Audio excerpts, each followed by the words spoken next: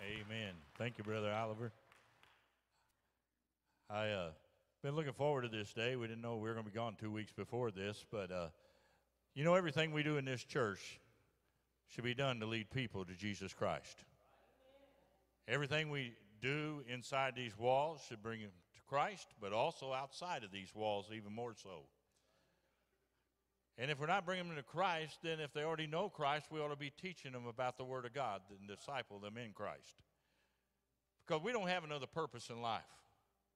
This is not just a club, or we could be anywhere else. This is God's house. We are God's people, and we are God's house. So I look forward to the day whenever we can talk about starting a new chapter of something that this church hasn't done, and that's Faith Riders, and they're going to hear a lot about it in just a moment. And right before I mentioned, I forgot to mention today, all you ladies that came and had those funny looking things on your head uh, that were here yesterday at the at the tea from two to four. And I want to thank you for all of those who were involved in that and all that put it on. Looked like some great pictures that we saw on Facebook. And so uh, I want to thank you for that. And again, remember today, at, we're going to give announcements at the end, but today at 5 o'clock, we won't be going door to door today. We'll be doing that on the 22nd at 9 a.m. At this time, I'd like to introduce Brother Mike Stewart to you. He is from Florida. He's the national director of Faith Riders, and he's going to tell you more about that more than I would ever know about it. I've read on uh, all the paperwork and I've looked at the videos on online on the, uh, on the website. But other than that, I don't know much except I know that we want to try to reach people for Jesus, and that's what we want to use this for. So, Brother Mike, if you'd come and share the Word of God with us, we thank you for being here today.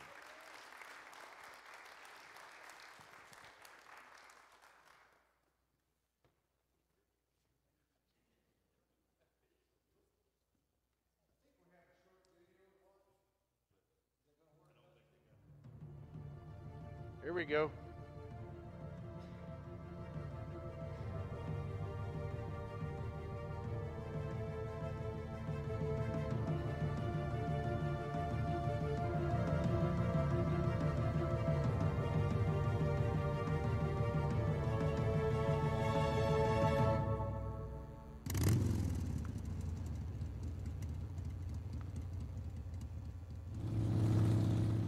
My name's Mark Lyle, my story is a lot like uh, maybe a lot of other folks. Um, my dad died when I was a kid, and uh, had a great mom that worked a lot of hours to support us. So I learned uh, to be very independent. There's just a feeling when you're out riding a motorcycle that gives you that freedom. When I was 17 years old, I met a young lady, and uh, I noticed something different about her than a lot of the other people that I hung out with. She told me she was a Christian, and I thought, oh no, how did I do this? I had this picture that you had to be perfect, you had to wear a suit and tie. That wasn't for me. Yet I was still attracted to her in more ways than just a physical way. Through her patience and, and lots of prayers, she led me to the Lord. I felt freedom and peace like I had never felt before. For several years, I was not part of sharing my faith. I think I was just caught up in what I thought was just the Christian life. You do all the right things, you say all the right things, you dress the right way. That's when Faith Riders came along. Faith Rider Motorcycle Ministry really isn't about motorcycles. It's really about reaching people for Jesus Christ. We found that if you give men permission to love God and other people through their passion, it changes their life. So finally, for the first time in my life, I knew what I needed to do. I simply needed to ask Jesus into my heart. And Romans 10 9 says, If you shall confess with your mouth the Lord Jesus Christ and believe in your heart that God has raised him from the dead, you shall be saved. Faith riders from across the country come together. We train them in how to share their personal story about what God has done in their life, and people will come underneath our booth. We're supposed to share the gospel with them in three minutes. In exchange, we do a giveaway, and, and that literally is going on all over the country. Whether it's Sturgis or Bikes, Blues, and Barbecue or Daytona Beach, Florida, when they go and they have an opportunity to see seven, eight, ten people pray to receive Christ in one day, that'll change their life. When people come to these events and they share their testimony and someone prays to receive Christ, they don't stop doing it there. They go back to their church. Faith Riders is really structured to help the local church fulfill the Great Commission. When we start a chapter in a church, it becomes a ministry of that church and it comes underneath the authority of that senior pastor. There's something about this ministry that has allowed so many people to really get on board. We've got a big job to do. We've got to share that good news. We've got to tell everybody about Christ.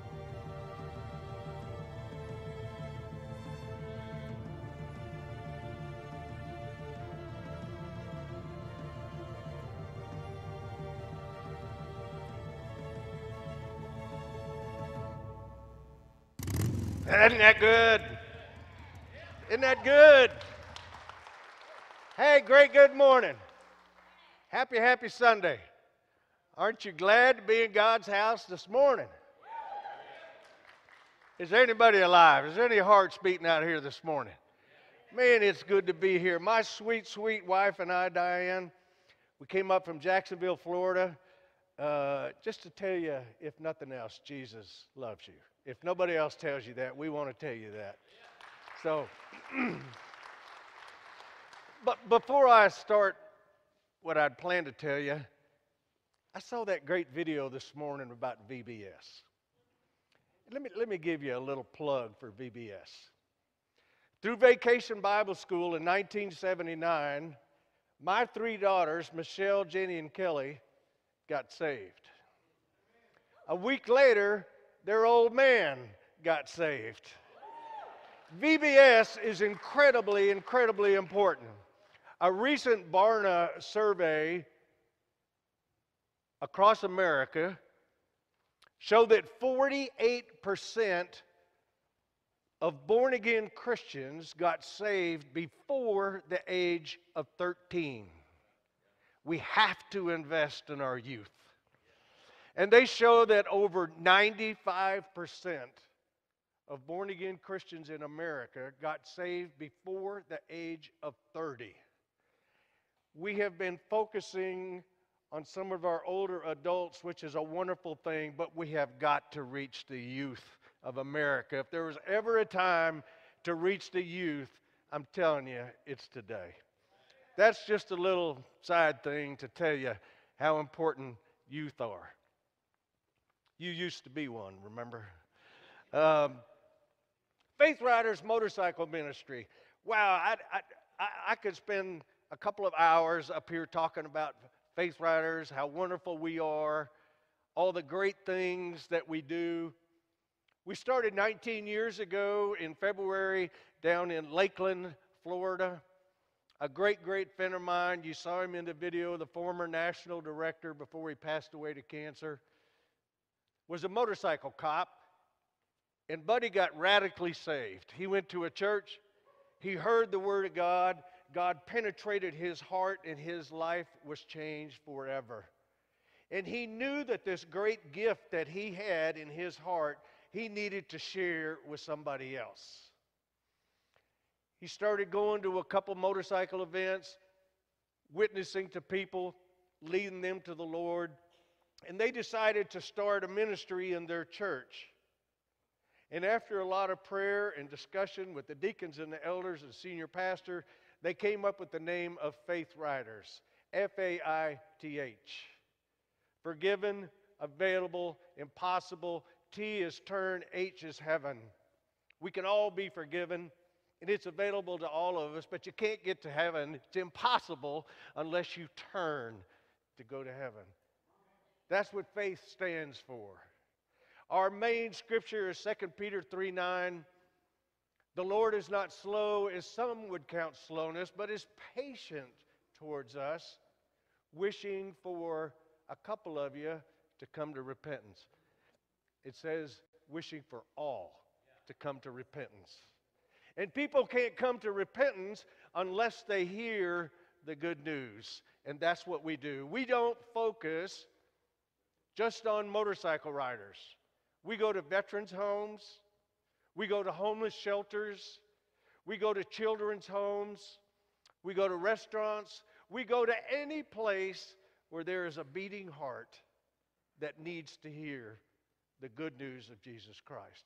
We're a motorcycle ministry, passionate, and if you Google the word passionate and see what that is and see if that defines you, passionate about sharing the gospel of Jesus Christ. That's what we do.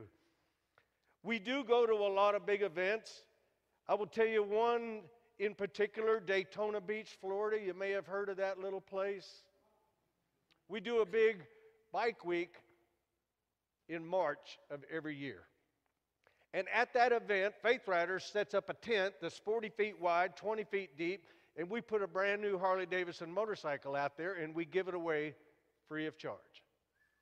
The cost is you need to come into the tent and listen to one of our volunteers three to five minutes of what God has done in their life. We call that telling our story.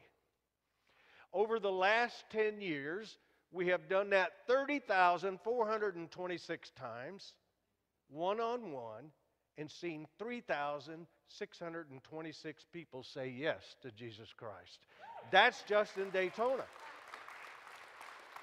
Now, we do that in Sturgis. We do that Bike Blues and Barbecue up in Arkansas. We do it all over the place. As a matter of fact, my wife and I just left Panama City Beach yesterday morning, rode 11 hours to come be with you today. But over the last three days, we shared the gospel 220 times and saw 18 people get saved in Panama City Beach. And so that's what we do. We're passionate about telling people about Jesus. I am so appreciative of Pastor Denver. His heart is for the lost. And what you all are doing, going door to door, handing out those cards, we call that leaving tracks in your tracks. Wherever you go. If you leave a track in the little slot in the gas pump or something, wherever you go, when you pull through McDonald's, hand somebody a track, whatever it takes to tell somebody about Jesus. It is called telling our story. I could go on and on about what Faith riders have done, but more importantly, what Faith riders will do in the future. We started with that one chapter in 2002 down in Lakeland, Florida. Another church saw what was going on. They wanted to get started, so they started another chapter. And as of today, you are chapter 376. That's how God has exploded this ministry. You're the 11th chapter in the great state of Kentucky. And I am so incredibly proud of what you do. But what we do is tell our story. And every person in this room has got a story. And this morning, if you would take your copy of God's Word, and on the right hand side, find a little book called Titus. This is a letter that Paul wrote to his great friend Titus. And I want you to focus on chapter 3. We're going to start chapter 3, verse 3. For we ourselves were once foolish, disobedient, deceived, enslaved to various lusts and pleasure, spending our time in malice and envy, hateful, hating one another. But when the kindness of God, our Savior, and His love for mankind appeared, He saved us, not on the basis of deeds which we have done in righteousness but according to his mercy, by the washing and regeneration and renewing by the Holy Spirit, whom he poured out upon us richly through Jesus Christ our Savior, so that being justified by his grace, we may be made heirs according to the hope of eternal life. Let's pray this morning, church. Father in heaven, we're so thankful for Jesus. As we were reminded in worship this morning, we can stand forgiven at the cross. What a great cost, Jesus, that you did for us. And as we come before you as a body of believers to do what is utterly impossible, we cannot do it in our own, and we need your help. We need to hear your word and be changed by your word. But Father, I confess I can't preach it this morning, and we can't understand it without a powerful outpouring of your Holy Spirit. So, Father, I'm praying right now that the same Spirit that raised you from the dead would inspire this text and give power to its preaching and to the power to its hearing. And I pray that your people would be changed. And Lord, I pray that Stithton Baptist Church in Radcliff, Kentucky would be changed and we could be saved. And I pray this in the name of Christ, that you would be magnified. And I pray this in your name. Amen. This morning, if I was to go around the room and ask each one of you where you came from, we'd get some incredibly great, great answers. Maybe some of you are from a different country. Maybe some of you are from just down the street. Maybe from states far away. But what I'm really concerned about is where have you come from spiritually? That's what's important. We're going to talk briefly this morning about sharing our story. Some call it, What is your testimony? And sometimes you feel like, I don't know enough scripture. I can't tell somebody about Jesus. But let me let me remind you very gently and nudge you this morning that when you go to talk to somebody and you feel intimidated and you think they're going to make fun of me or they're going to poke holes in my theology, get over yourself. It's not about you, it's about this word and it's about Jesus Christ. People will argue with you about theology. People will argue with you about denominations. And my recommendation is don't take the bait, don't get in that argument. What they cannot argue with you about is what Jesus Christ has done personally in your life because you were there and you witnessed it. Verse 3 says, We ourselves were foolish disobedient, deceived, enslaved to various lusts and pleasures, spending our life in malice and envy, hateful, and hating one another. I want to tell you that kind of describes my life. I don't know about you. But the scripture says we were foolish ourselves, disobedient, and deceived. That was absolutely me. I thought I had it all together. I was in the Navy, I was going for a great career. I was a chief petty officer.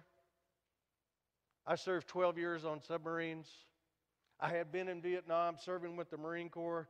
I had it together. I had a wife and three daughters. But what I didn't see was there was five of us living under one roof going in five different directions because I was deceived. I thought, I thought I was following the Lord. It says we were once disobedient. Now, from the outward look, I had it all together. But this is talking about being disobedient to God, not disobedient to our parents, or disobedient to one another, but I was disobedient to God. If I went over to chapter 1, verse 16, they profess to know God, but by their deeds they deny Him, being detestable and disobedient and worthless for any good deed. God had nothing to work with with me. I thought He did. I said, Look, hey, I'm a chief petty officer. I am somebody. I was a nobody. I was so deceived. It says, enslaved to various lusts and pleasures. This is how Paul is describing the way we used to be. Enslaved to various lusts. Today, in our culture, when we hear that, we think he's hooked on pornography. This is talking about all kinds of lusts. Things that you had to have. Maybe it's a motorcycle. Maybe it's money. Maybe it's work. Maybe it's a new boat. The things that you lusted after and you had to have it. It says lust and pleasures. Pleasures are talking about the things that make us feel good. There's nothing wrong with having a new motorcycle, nothing wrong with having a new boat, nothing wrong with having a good job, nothing wrong with the new home. But what is wrong is is when you lust after those things so much that they enslave you. That's what it says. We were enslaved to various lusts. They had control over us. We no longer control them. That was me. I was enslaved. You talk about the coronavirus. I had the coronavirus back in high school, except it was a drinking corona. My drink of choice is whatever was available. I was enslaved to alcohol and pleasures, whatever, whatever I could find to make me feel good. Maybe that possibly describes you, how you once were. Spending our life in malice, in envy, when the Bible talks about malice, and malice in general means I want bad things to happen to you. Envy means I want your good things for me. So I want something bad to happen to you, but the good things that you have that new motorcycle, that beautiful home, that beautiful car why don't I have it? If something happened to you, maybe I could get it. That's what malice and envy is talking about. I want something terrible for you. And envy means I want the good thing for me. It says we were hateful, hating one another. The last couple days down in Panama City Beach, where my wife and I were, there was probably 80 faith riders there working together under the tent sharing the gospel. 80 people that have come from all over the country men, women, young people, various races, different skin color. And you could look at any of them and say, That's my brother. That's my sister. Only the power of Jesus Christ can cause that to happen. Before that, I was full of malice and envy. But once Jesus Christ exploded in my heart and I repented of all that, He took away that hate. When I came home from Vietnam in 1970, after having spent a year there, I had a hatred for Vietnamese people. And I hated rice. I got home in 1970. I was a mess. A mess. Every time I saw a person of Asian descent, I would be filled with malice. I got saved August the 11th, 1979, and two weeks later, I went to my first Bible study. And I was scared to death. Somebody said, Come on, Mike, we're going to go to a Bible study at Chaplain Warren's house. He was a Navy captain, chaplain, and I was scared to death.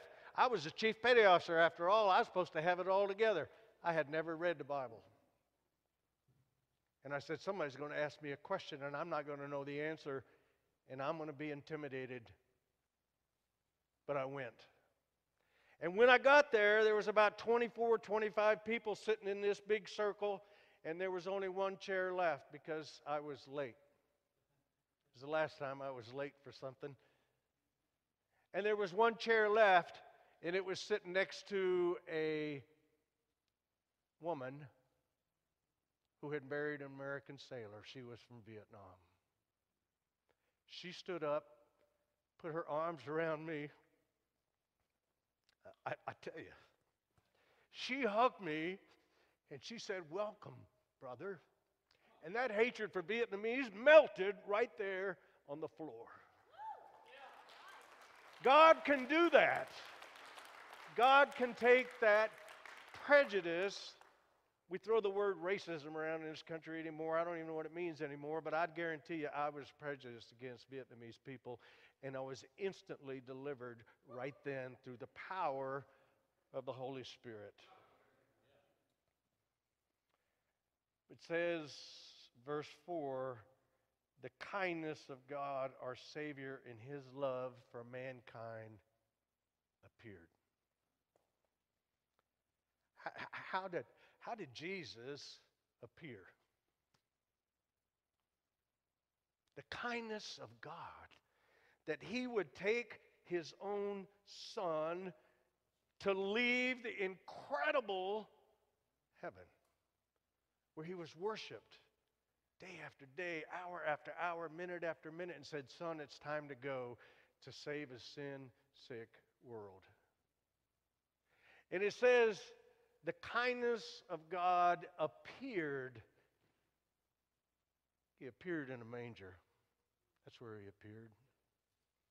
He grew up, led a sinless life, was falsely accused, arrested, beaten in a way that you and I could never, ever, ever begin to imagine.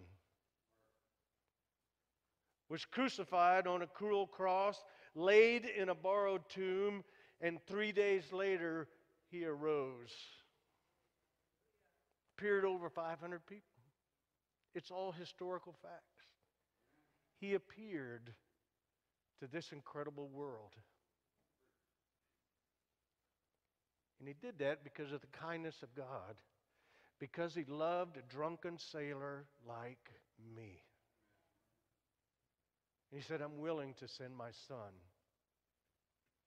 He appeared again, and it says, the kindness of God our Savior and his love for mankind, he saved us not from the basis of deeds which we have done in righteousness but according to his mercy by the washing and regeneration and renewing of the Holy Spirit. August 11th, 1979, Mare Island, California, Navy housing. I'm going to back up 24 hours. August the 10th, me and that coronavirus I was telling you about had been doing business with each other all day long. And I was pretty drunk, and I went to a Willie Nelson concert in Oakland, California. And Willie Nelson was singing some songs, and I decided I needed to come down out of the balcony and get on the stage and help Willie sing. and about that time, I had some steel bracelets put on me, and I was led away. I was not falsely accused. I was not falsely arrested. I was intentionally accused and intentionally arrested.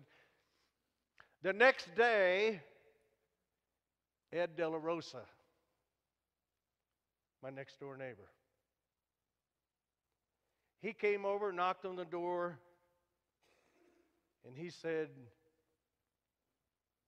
the greatest words I'd ever heard that I could be forgiven. Ed De La Rosa took a huge step out of his comfort zone to come and tell a wretch like me the gospel of Jesus Christ. About how, if I would repent of my sins, I could be forgiven. And he showed me in 1 John 1 9 that if I would confess my sins, that he, Jesus, is faithful and just to forgive me of all my sins and cleanse me of all unrighteousness, including being arrested at a Willie Nelson concert. I could be forgiven.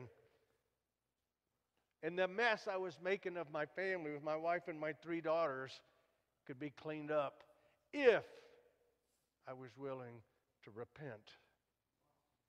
And when you share the gospel, you must include that because repent means to turn and go the other way. I heard the story just the other night.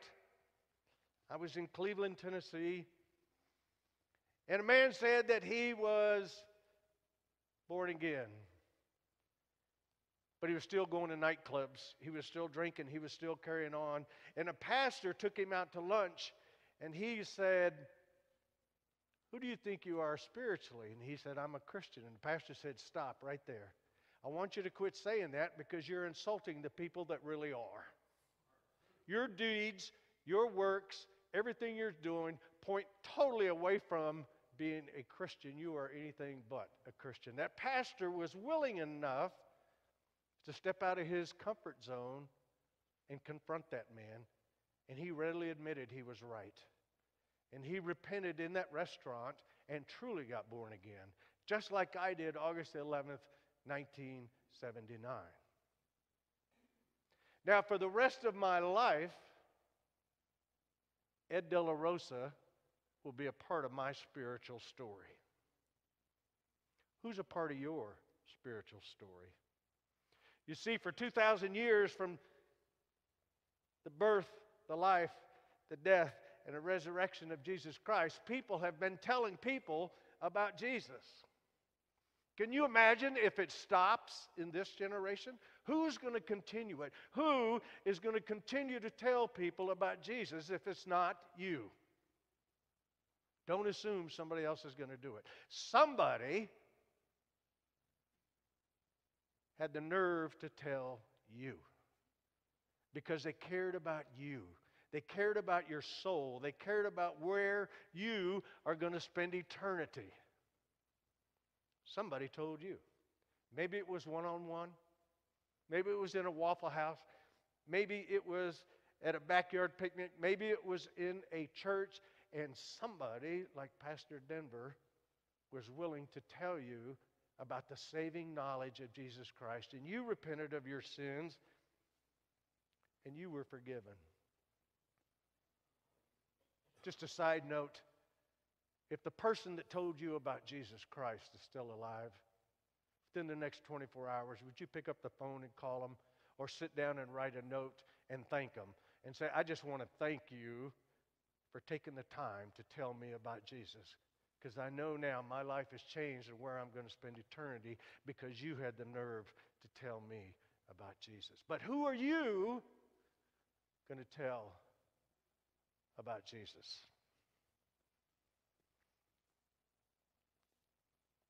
It says in verse 7 so that being justified by his grace, we would be made heirs to the hope of eternal life. Let me tell you a little something about the word saved. First of all, let me tell you about everything that Paul has been summing up.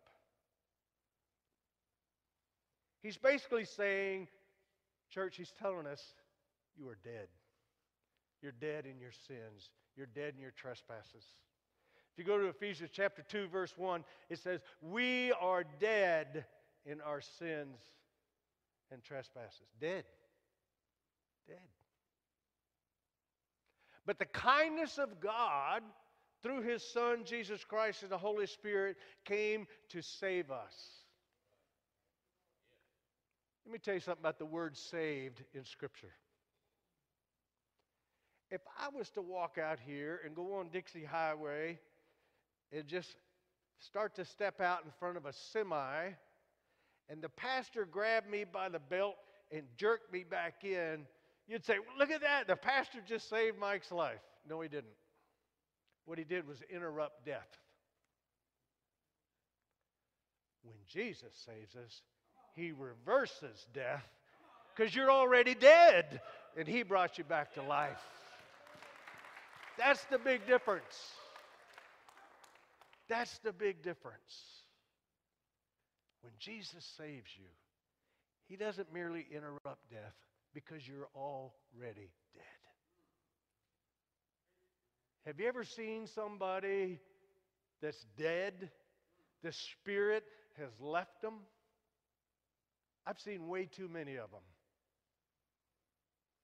But when Jesus takes our dead spiritual body and invades our heart through the power of the Holy Spirit, when we cry out to Him and ask for forgiveness, He reverses our spiritual death and gives us new life, and that's why we call it born again. He gives us a second chance. For you golfers, it's the ultimate mulligan. Let me tell you, it says in verse 7 justified by his grace. Don't think for a second it's justified because of what you do. You can be the greatest singer. You can serve this church, and I pray that you do. But listen to my heart, please. Don't misunderstand me. It's important that you serve, but serving won't get you saved. You can be the best tither this church has, it won't get you saved. Whatever it is that you do, your great deeds that you get puffed up about, like I was thinking I'm a chief petty officer, I've really got it together. It was filthy rags. Meant nothing. Nothing. God didn't have anything to work with because you are spiritually dead. Or you were. That's what he's reminding us of. And when we look at other lost people, we need to remember we used to be just like that. Please be careful. Don't look down your righteous nose and say, I can't believe they're living like that. Folks, let me tell you, lost people act like lost people. Just like you used to do before you came to know Jesus. But once you get to know him, you want to tell others about him. Because the Bible says we have been made heirs according to the hope of eternal life. I don't know if there's any heirs in the room. I know there's three things that are important to know about an heir. One, they're fixing to get something. Number two, you don't have it yet. And number three, you didn't do a cotton picking thing to earn it. Nothing. We are heirs to eternal life.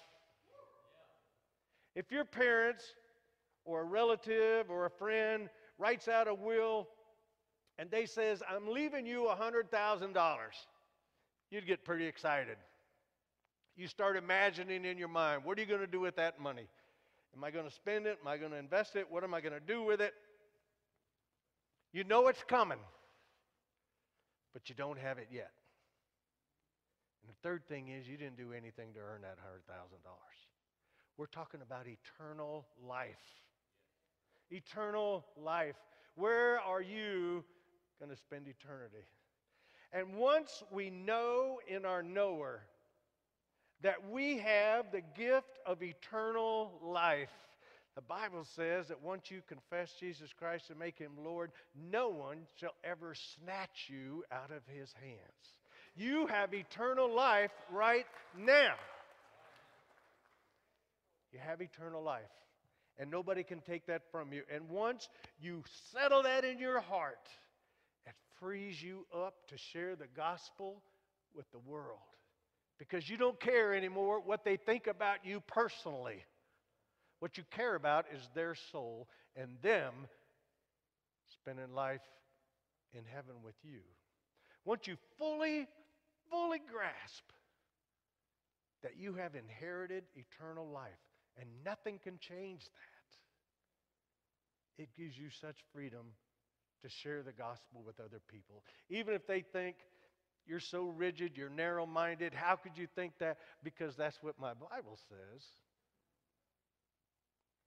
It gives you a freedom to share the gospel. It gives you freedom to go hit these other 10,000 homes in this area you want to go to. It gives you freedom to knock on doors and give them a tract. It gives you freedom as you drive through McDonald's to tell the young girl at the window, hey, I just want to tell you today that Jesus loves you.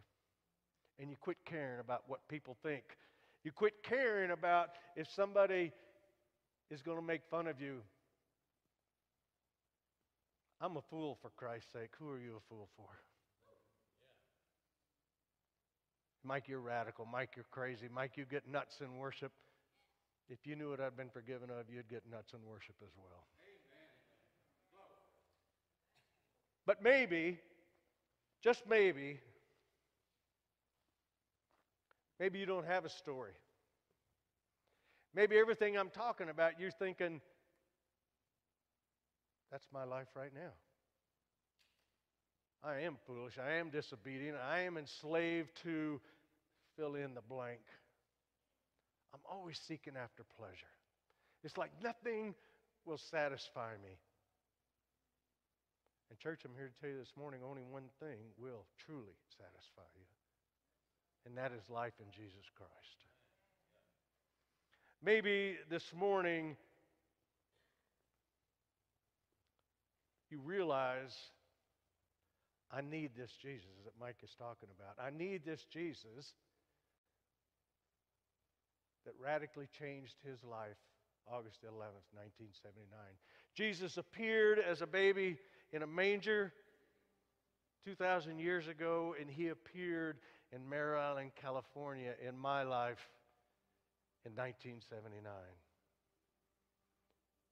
I'm here to tell you, he can appear in your life this morning. And I'm going to ask you to realize I want this hope of eternal life that Mike is talking about. I am tired of carrying all this guilt. I'm tired of hiding in my sin. I'm tired of playing Christian like I was doing. I'm just tired. And I need a refreshing from the power of the Holy Spirit. I need to know beyond a shadow of a doubt that if I die tonight, where I'm going to go. And if you can't answer that question by saying, I know I'm going to heaven, I'm going to ask you to come down here this morning and get right with God. And, Pastor, I, I, I, know I'm a guest in your church and I appreciate you letting me be here, but one thing that I want to say is if you're not right with God, I pray you never get another good night's sleep until you get right with God. And let that be today. Let that be today. And so I'm going to ask you right now to get out of your seat and say, I need this Jesus that Mike is talking about. Or maybe you're here and you have been saved and you have a story and you have been frozen in fear to share it with somebody. Let's break the ice this morning. Let the power and the warmth of the Holy Spirit fall upon you and give you a new boldness like you have never had before. It's not the pastor's job to witness to Radcliff, Kentucky. It's his job to teach you, and you go do it. And today, we can make a fresh start. We can make a fresh commitment. And so I'm going to ask right now, brother, as you play, whatever the Lord is leading you to do, I'm going to ask you to come down front and meet Pastor Copeland right here. And let's get it right with God. Don't let one more day don't say, I'll do it tomorrow. I'll do it next week.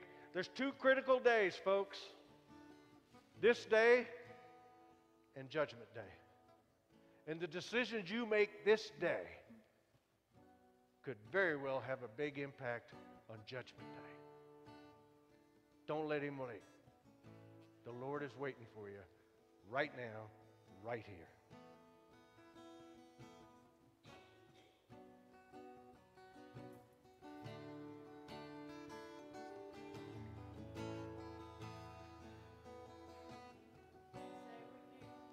Caught up in your presence. I just to sit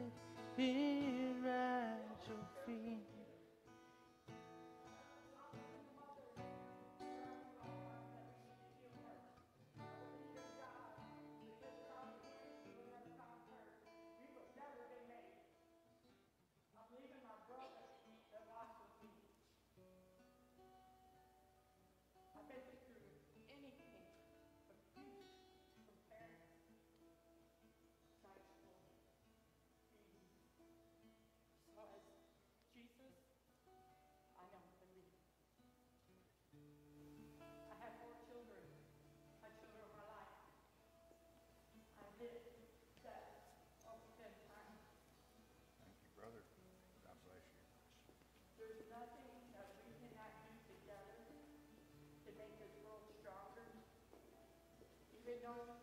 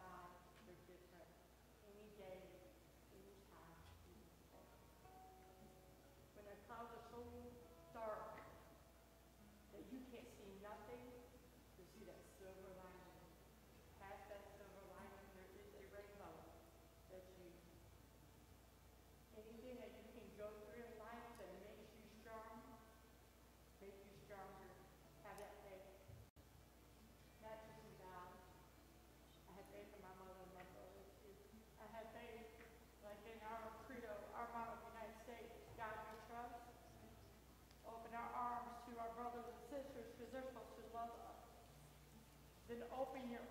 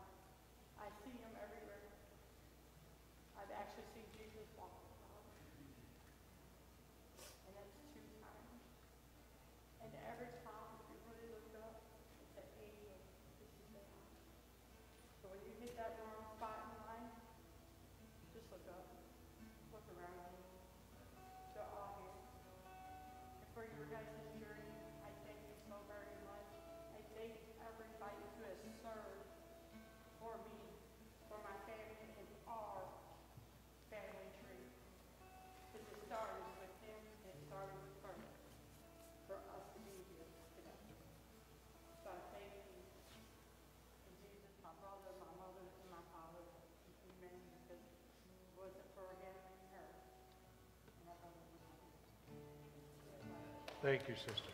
Thank you.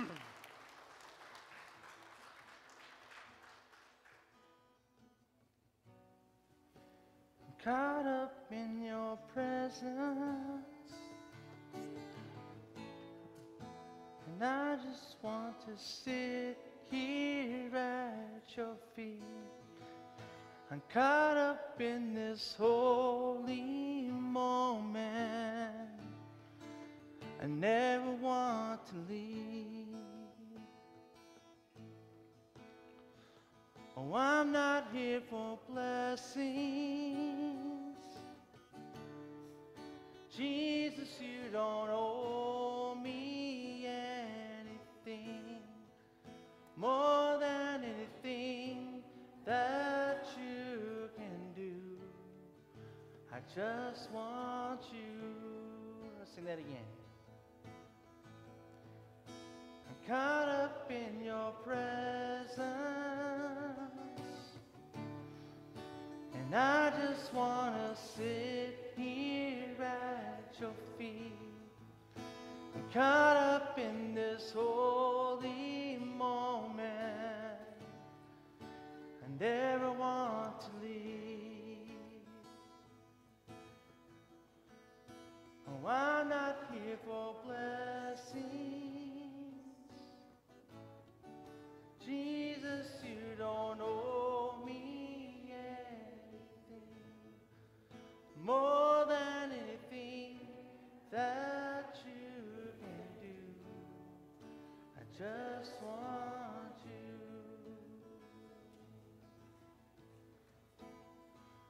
And I'm sorry when I've just gone through the motions, and I'm sorry when I just sang another song.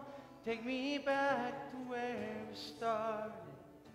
I open up my heart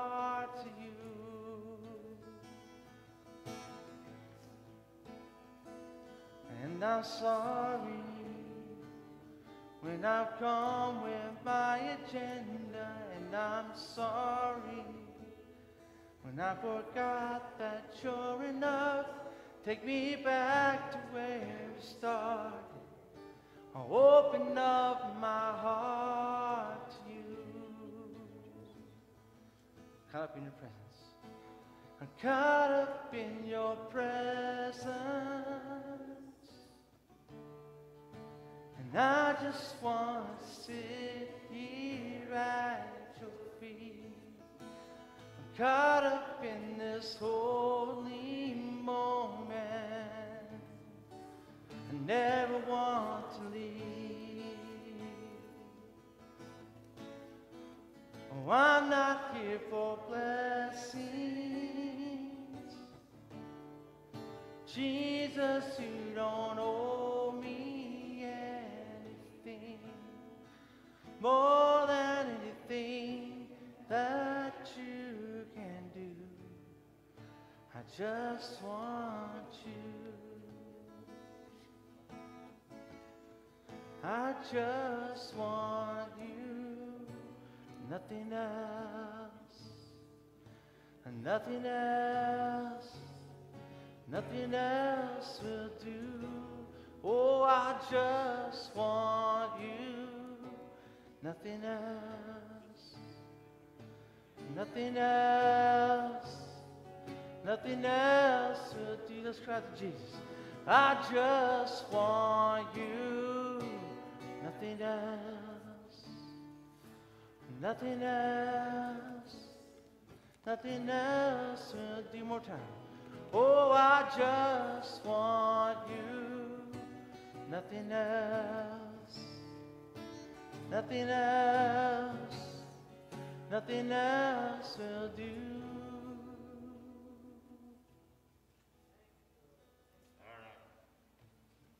Absolutely nothing else will do, Pastor. God bless you. Thank you for allowing me to do this.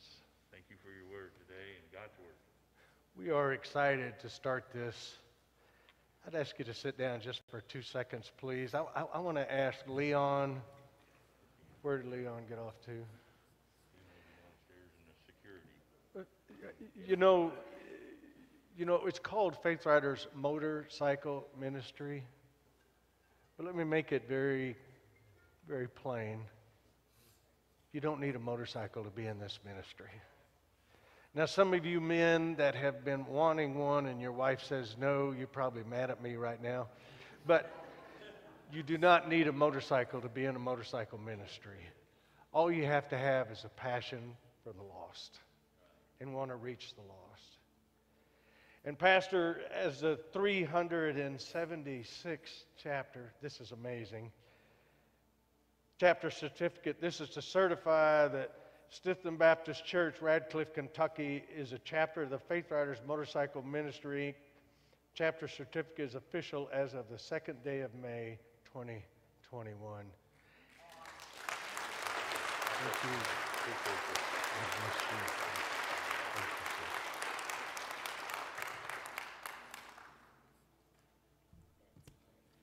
I'm going to pick up this mic so you can hear a little bit better. Plus, that way the ones that are listening home can hear. We look forward to the opportunity to be able to serve God this way and look forward into that. And if you'd like to be a part of it, you can talk to myself or Leon. Leon's probably uh, downstairs in the security room watching all the cameras and everything that's going on, the other guys in security around here. And, uh, but he has been one, of- he's rode in several groups, Christian groups, and, uh, and uh, he's the one that brought this to my attention. And I said, well, you know, let's give it a shot because uh, people need Jesus. And I don't know if you notice or not, there's a lot of people riding motorcycles around this place. And we need to get them to the Lord. and that's what's important. So one of the other things I wanted to mention real quickly, we had a death in our church family really this last week. Brother Jim Wetzel uh, went on to be with the Lord. Uh, Jim was here with us many years, uh, loved the Lord, and a lot of people's lives have been affected by him and him sharing Christ. He was a great soul winner and a discipler of Christians. And so uh, this Friday, we're uh, going to have that service. Matter of fact, many of us just sent him cards for his 80th birthday. We were gone. We got back, and got the mail, and he had written, handwritten, a thank you for that card, and we got it in the mail when we got back. Uh, one of the last things he probably wrote before he went on to be with the Lord. And uh, you want to be here at one, one o'clock? There'll be a visitation time before that. I believe that's all up there on the screen that you can see. And then also at Nelson Bennett on Thursday evening. And there'll be a meal following the service here. Uh, it's one of the first times we've done a, a full-blown meal for a, for a big group since COVID. Uh, so we'll be in the gym and the cove downstairs uh, for that. a lot of other things going on this week. Check your bulletin out. But before we dismiss, I have a brother here, Brother Troy. He's, gonna, he's been coming to this church for quite a while. And uh, he's, he's part of uh, Corey's home group and, uh, and uh, been going to that and been coming here. He wants to become a member of this church and uh, wants to follow in believers' baptism. And so uh, we praise God for that. We had, had two baptized two weeks ago, and I believe we got three more to that would need to set up a time to baptize the next week or two. And uh, we praise God for that and what God's doing in our church. And uh, he's not as young as he looks, but he is pretty young, and we thank God for those that come here to be with us. And uh, we thank you for that. I'm going to ask you just to stand over here if you would. And if people would come by and just welcome him into the church, we don't do like we used to do and slobber and spit all over each other and everything, but we do want to go by and, and tell him hi. Brother Mike, would you and your wife come over by the door over there if you would, and we'll be over there in just a second and let people go by. I want to thank you all for being here. If you are a first-time visitor, I don't think we have enough for the whole motorcycle bunch, but if some of you want to get some, you can take what you can over here by the cross. We have some things we'd like for you to remember your visit with us. Uh, it was great having you all here today. I want to thank Brother Mike again. Shared the gospel very plain and simple. Folks, we're all about not only coming to know Jesus, but telling other people about Jesus. There's no other reason to be on the face of this earth except to give all of us ourselves to God and to tell other people about Jesus. So uh, I want to just thank everybody for coming to say a little short word of prayer will be dismissed. Come by and thank Troy for being a part of this uh, body of believers as he's a part of us now. And then uh, come on by as you, as you go on out. Remember the offering boxes on the outsides and then here on the plates. Heavenly Father, we thank you for your word today. Father, we just pray that you would bless this time today. Father, I pray that if there's someone that's there that are kind of on the fence right now, Father, I pray your Holy Spirit would hone in on their heart that they might come to know you. I pray that they'll talk to somebody before they leave this building this morning. And Father, I pray that they would come to know you. Father, for us that know you, that we'll live closer to you, that we give ourselves completely to you, that we'll become who you created us to be in you. And Father, we want to give you all the glory and all the praise. And these things we ask in Jesus' precious and holy name.